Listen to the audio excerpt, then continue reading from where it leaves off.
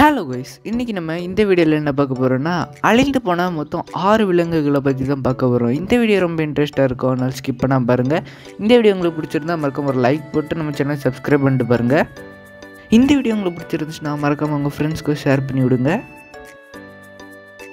சரி ஓகே வாங்க வீடியோக்குள்ளே போகலாம் நம்ம முதல்ல பார்க்க போகிறது ஸ்மூத் ஹேண்ட் ஃபிஷ் தான். அதோட கடைசி ஃபோட்டோ இது தான் நம்ம அடுத்ததாக பார்க்க போகிறது யாங்ஸ் ரிவர் டால்ஃபின் தான்.